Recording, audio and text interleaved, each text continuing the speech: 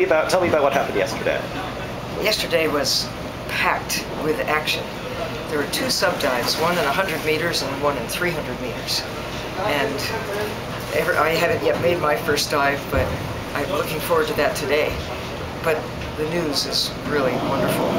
Uh, in addition to the subdives, there were scuba dives. I made two of those, two nice long uh, returns for me to Cocos to meet some old friends and find some new ones too.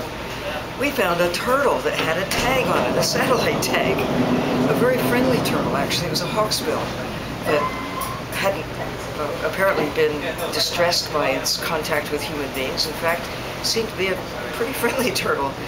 Uh, lots of pictures were taken, and we uh, gave it a big smile, and it gave us a turtle smile back and took off into the blue. So somebody's tracking that turtle. I hope that uh, we find out who it is and make contact that we, we know your turtle.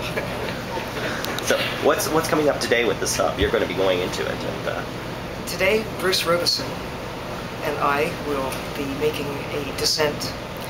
We are, our destination is about 300 meters, about 1,000 feet down, in a place that has only been looked at a couple of times. We expect to find some new things and again to see some old friends. Yesterday, when Edie and Jorge first made their descent, a sailfish came by.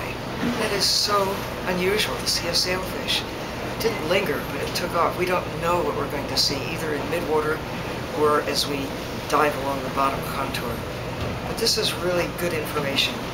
This is on a part of the Cocos Island uh, area that is a little tricky to get to. It's not where people have been going historically with the subs very often. So we're looking for some some good information to help establish how really special Cocos is.